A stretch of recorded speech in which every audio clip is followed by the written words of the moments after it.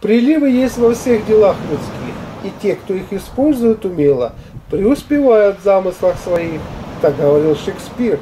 Но в том и дело, что вовремя увидеть надо их.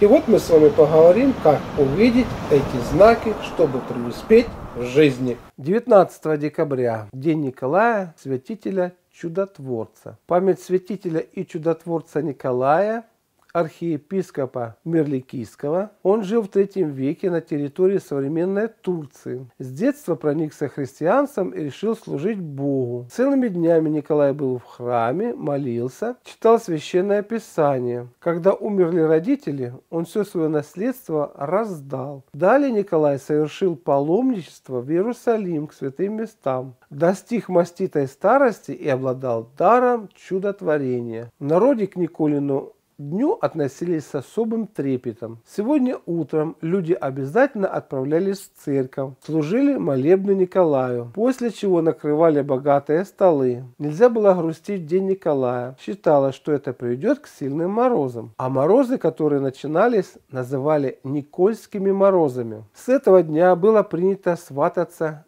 и молодые люди молились святителю Николаю, чтобы их брак был счастливым. Молятся святителю Николаю и все те, кто ищет помощи и защиты от разного рода бед, а также те, кто ищет помощи в добрых делах. Он является покорителем купцов, детей и моряков. Ему часто молились и земледельцы, чтобы получить хороший урожай. Вообще Николин день считали лучшим для заключения какой-либо сделки. Сегодня проводились многочисленные ярмарки и базары, а также проводились братчины, Люди мирились между собой и устраивали пышное застолье. Молились святителю Николаю и о том, чтобы он проводил души умерших людей в правильный путь. Приметы. Каков день на Николу Зимнего – такой и в Николу летнего, 22 мая. И если день Николы зимнего ясный и морозный, к урожайному году, сколько снега на Николу, столько весной и травы будет. У нас в гостях целебной кулинарии шоумен Михаил Гребенщиков. Здравствуйте, Доброго Геннадий здоровья. Петрович. И начинаем нашу программу «Целебную кулинарию». Она не только о еде, но и во всем, что касается здоровья человека. Вот так говорю. Я предлагаю сделать... Любишь вообще покушать? Очень. И сегодня у меня много вопросов. Например, макароны. Люблю их с детства. Можно ли их есть правильно, с пользой для тела? Потому что сейчас очень многие люди волнуются, что вот едят мучное, полнеют. Вот. Ко мне-то это не относится. Я как бы все время в каком-то в одном весе и очень много Это ем. хорошо. И в 3 часа ночи ем очень много, и в 4, и могу не есть. Э, Вот, могу есть. Э, Вот, но иногда хочется хороших макарон, так сказать. Да. И сделаем как раз хорошие макароны. Хорошие макароны должны у нас готовиться из сортов твердой пшеницы. И знаешь почему? А есть мягкие. Оказывается, да, и мягкие есть. В чем разница? А, Оказывается, разница в том, что в твердых меньше клейковины. Клейковина – это такое вещество, которое, ну, говорит, забивает наш желудочно-кишечный тракт. Далее она всасывается в кровь, забивает, значит, что? Слизь только выводится через легкие. То есть это предрасположенность к бронхолегочным заболеваниям, плюс мерзнут руки, ноги из-за того, что вот эта слизь закупоривает капилляры. То есть вы об этом знаете, какие зря макароны не едите, Да. соответственно, у вас там все желудочно-кишечный тракт.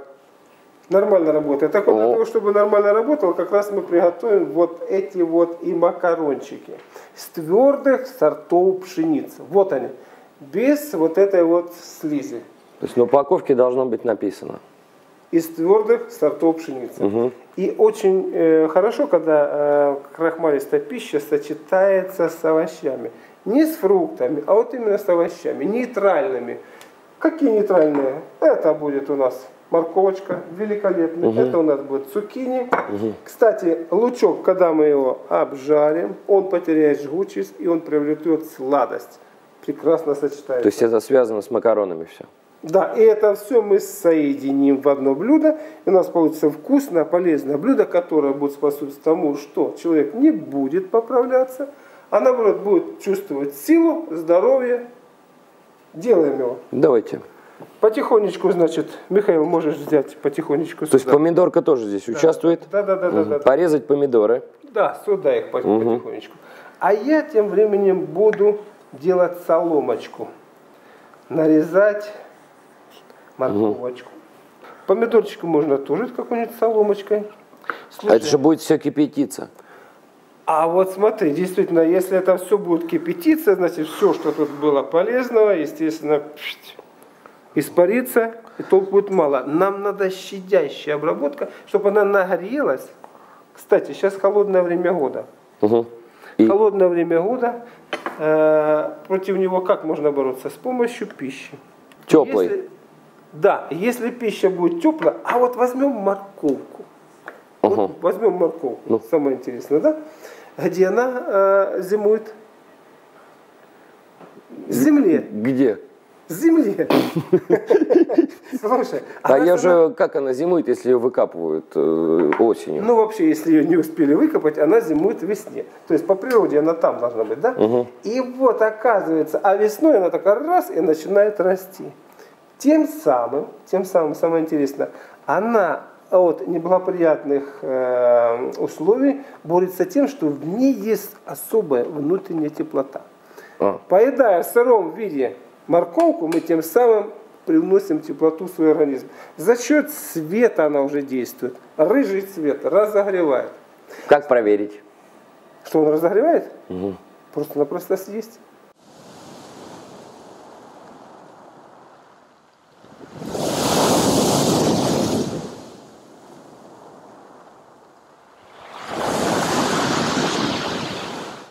Двадцать третьи лунные сутки.